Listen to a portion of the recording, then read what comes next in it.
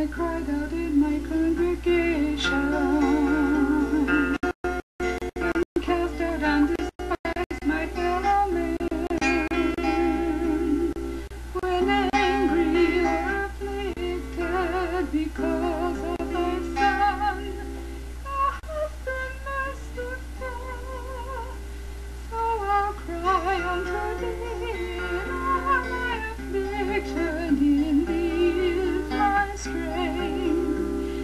hast turned thy judgments away from me.